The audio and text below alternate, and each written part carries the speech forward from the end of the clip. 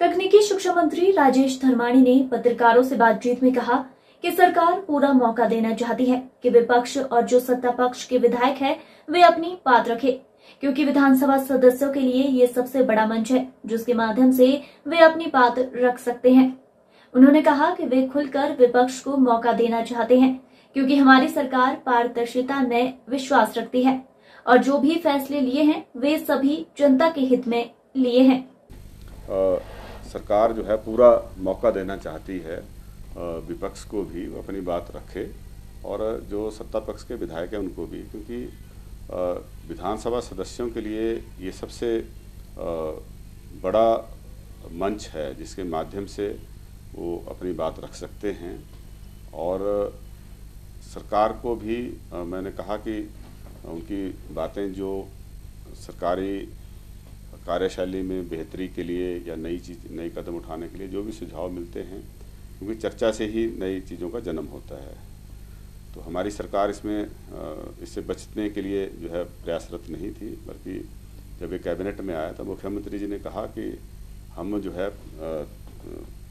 खुलकर जो है विपक्ष को मौका देना चाहते हैं। क्योंकि हमारी सरकार जो है पूरी ट्रांसपेरेंट, ट्रांसपेरेंसी में विश्वास करती है।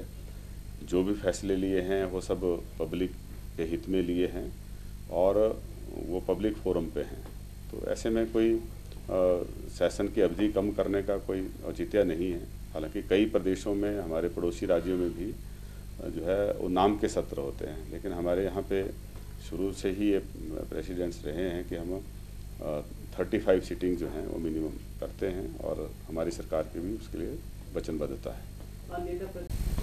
हम पूरी तरह से तैयार हैं। जो भी माननीय विधायक अपने प्रश्न पूछेंगे, सरकार उनका तत्परता से जवाब देगी। और डेमोक्रेसी का ये बहुत महत्वपूर्ण जो है एक एक्टिविटी है, जिसके माध्यम से जहाँ लोगों की विभिन्न क्षेत्र के जो रिप्रेजेंटेटिव्स हैं, वो अपनी बात वहाँ पे रखते हैं। वहीं पे सरकार की जो कारगुजारी है उसमें भी सुधार के लिए कई सुझाव जो इसमें मिलते हैं।